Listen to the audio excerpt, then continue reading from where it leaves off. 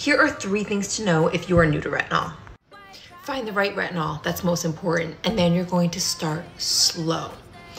No matter what the strength, you're gonna start off with once or twice a week only.